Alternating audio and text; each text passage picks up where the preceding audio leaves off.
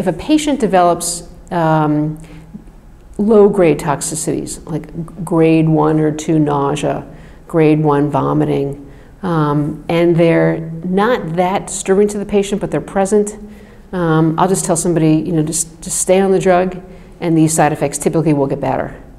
Um, for example, if somebody gets more significant toxicities, like really persistent nausea, where maybe she's losing weight or just can't eat very much,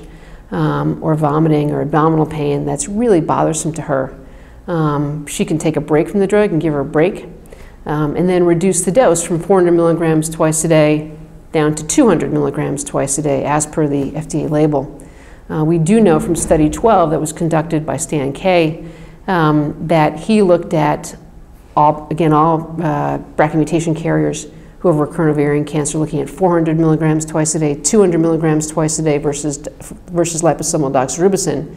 And the 400 and 200 milligrams uh, twice daily actually had pretty comparable results. So I think if, if that patient has to drop from 400 down to 200 twice daily, um, that that would be okay, certainly for efficacy. It's when you start to drop down to below 100 or to 100 twice a day, um, you have to watch to make sure the efficacy is maintained. And certainly, you know, since, since this is being given now off a trial, I think clinicians have, um, have more ability to you know, dose, redose escalate. So if she, you drop her down to 200 or to 100 temporarily, um, you can easily dose escalate, especially if she's tolerating the drug well, just because patients seem to um, tolerate the side effects better. The, the toxicities get better over time.